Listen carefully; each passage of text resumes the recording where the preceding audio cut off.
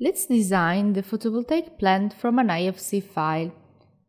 An IFC file mm, done by the architect, for example, who has modeled the building. So we can upload the IFC file directly in the 3D view. So import the file and now we have the 3D model that's useful for the photovoltaic plant design. So what the, the IFC model allowed me to do? Now I don't need the modeling we saw in the previous video. So the definition of the area, to install the photovoltaic modules, the DXF file. And that's why, because thanks to the IFC file, I have photovoltaic field that automatically recognizes the surface. But this area uh, has all the properties, so inclination, orientation, and all uh, properties automatically recognized. We click on the roof and I see the editor. Now we see all the area. So I can just adapt the area to the P uh, photovoltaic field.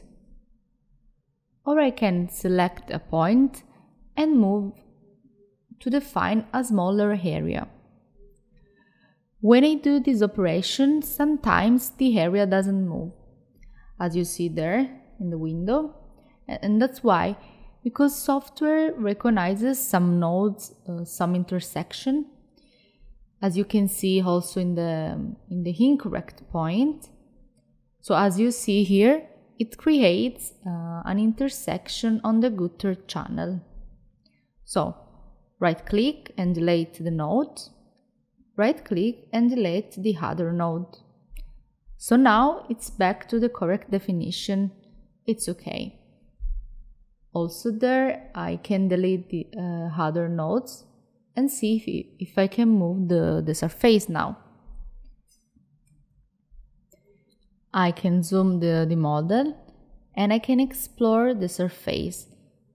So I see if I if I have problem in the definition of the, um, the whole surface. For example, there I have double position so double area for the position of the photovoltaic plant. This happens because the, uh, that depends on the accurate IFC modeling, so it depends on the native file. So I delete the node, I delete the node again. Now I'm back to the linear solution. I see the correct surface. So if I select the point, the pink point now, as you see, I can move it, I can move the whole surface to the point I want. I move all, and I'm telling to the software, to Solarius, that this is the area that I want to use for the photovoltaic plant. I can always go in the editor and model the details, so change what I want. So what I have? I have an instrument able to model the area in which I want to install the plant. So select the area and click on Design PV Plant. Push Next. So I quickly draw the useful area, but now I'm going to properly design the plant. So for example now I'm designing uh, the plant I decide to, uh, to use to set a vertical arrangement. Distance between modules is 2 centimeters and I can set the distance from the edge is 10 centimeters. I can also specify power, for example 6 uh, kilowatts. Click on calculate. Solarius interrogate all modules I want to use modules with peak power 300 watts. But what type of modules? I decide to use polycrystalline modules. So I just easy move the column. So software defines the maximum numbers of modules uh, to obtain the, the power I want, that I want for the project. In this case, 20 modules. I obtain automatically the position in the 3D view. In a situation like this one, if the position is incorrect, if modules are not aligned, what I can do? Uh, first of all, this happens usually because surface is not properly aligned. To go back, uh, what can I do? I can delete my surface.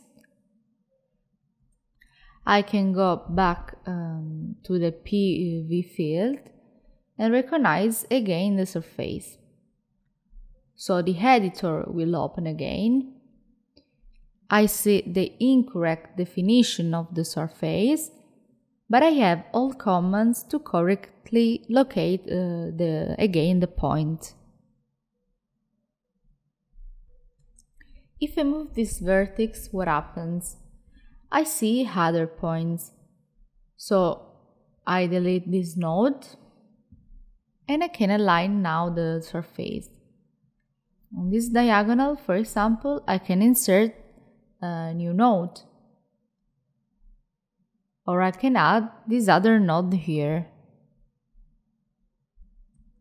So we created the correct surface now I can finish. And what I'm saying now? I'm saying that my plan is on this area, this correct area. So we choose uh, 6 kilowatts, 2 centimeter distance between modules, and we can choose also 2 centimeters of distance from the edge. So calculate. We interrogate all the database but I, I can always set a filter, for example, for brand or for type model. We decide, for example, to interrogate the polycrystalline modules by generic company, or we can choose a specific one, a specific company. So we obtain 20 modules to satisfy the client's request. We confirm so now we have the correct position. I can see all details in the 3D view. If I want to move a module, I can select it, right click, and then click on the see the plan view. In this view now, uh, we can change the position of the module. For example, I can put in an upper in the upper line in the upper row so apply. So now I can see the module also in the 3D view.